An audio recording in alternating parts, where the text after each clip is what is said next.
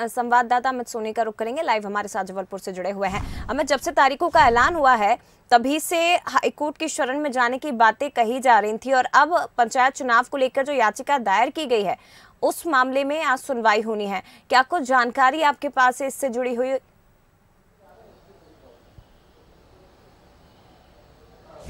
बेशक जो है कुछ ही देर में जो है इस मामले को लेकर सुनवाई होगी पंचायत चुनाव के बाद से ही है जो है लगातार पूरे मध्य प्रदेश में याचिकाओं का दौर शुरू हो गया था इसमें साफ़ तौर पर याचिकाओं में ये दलील दी गई थी कि जो रोटेशन प्रक्रिया है, उसको दरकिनार करते हुए, साथ ही आरक्षण प्रक्रिया जो कमलनाथ सरकार ने लागू किया था उसको भी एक दरकिनार करते हुए सरकार ने जो है चुनाव कराने का फैसला लिया। चुनाव आयोग ने इस बात की घोषणा भी कर दी थी। हालाँकि चुनाव आयोग ने सिर्फ़ चुनाव की घोषणा करी है, तारीखों की घोषणा करी है। बहरहाल अब ये जो पूरा मामला है, हाईकोर्ट में पहुँच चुका है। ग्वालियर में भी इसको लेकर के याचिकाएँ लगाई गई थी, इंदौर में भी इस याचिकाएँ लगाई थी। तमाम याचिकाओं को कंपाइल करते हुए जबलपुर हाईकोर्ट यानी सीजे की बेंच इन तमाम जो याचिकाएँ इनको सुनवाई करेगी। इसको लेकर के राज्यसभा सांसद और वरिष्ठ अधिवक्ता हम्म। विवेक तनखा जो है पैरवी कर रहे हैं साथ में पूर्व महाधिवक्ता शशांक शेखर जो है पैरवी कर रहे हैं। कुछ ही देर बाद जो है याचिकाओं में सुनवाई शुरू याचिका पर सुनवाई शुरू हो जाएगी। संभवतः आज ये कायास लगाए जा रहे हैं कि आज जो है हाईकोर्ट जो है नोटिस जारी कर सकती है जवाब जो है सरकार से मांग सकती है।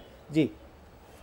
बिल्कुल, इस मामले में आज सरकार से जवाब मांगा जा सकता है, नोटिस जारी किया जा सकता है। हालाँकि जब सुनवाई होगी, उसके बाद ही स्थितियाँ स्पष्ट हो पाएगी कि क्या कुछ हाईकोर्ट की तरफ़ से कहा गया है सुनवाई में।